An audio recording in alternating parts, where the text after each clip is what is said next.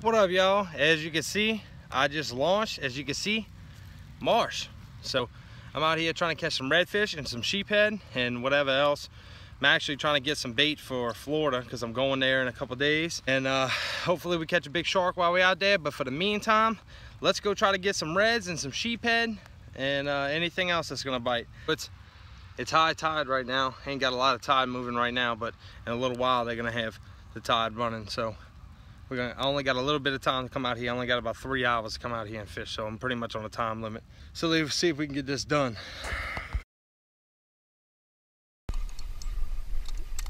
There we go. And it took it out of my hand.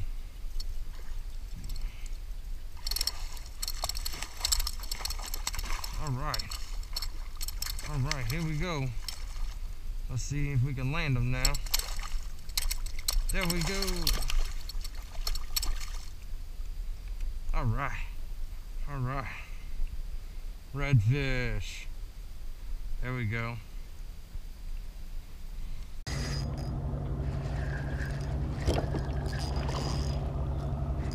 All right.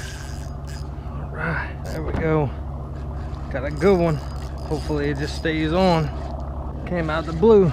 Smashed it. All right. Here we go. Yay. Redfish. Just stay on. Water's super clear back here. He's trying to run me into anything he can. Gotta love this. Oh, he's barely hooked too. Shh. I don't want to ruin that last little pond right there. Oh, crap. I hope I got a good, I hope I got him pinned pretty good. All right, here we go. Here we go. Good.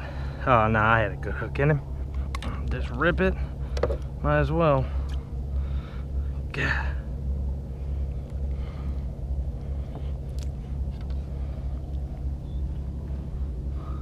Oh, nice. Pretty kayak redfish.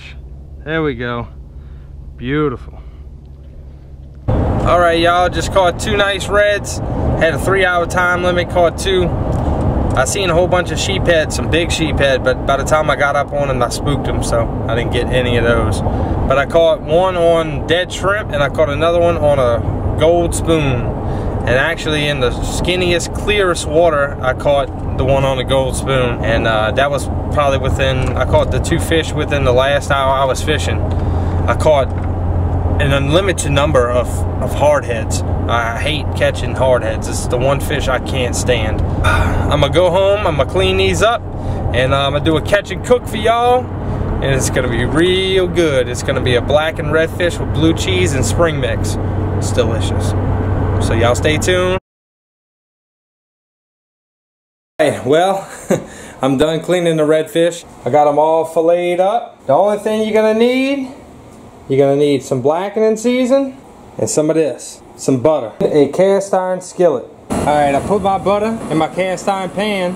Now what I'm gonna do is I'm going to season this before I put it on because I'm gonna lay that side down first, then I'm gonna season it once it's inside. Don't be scared.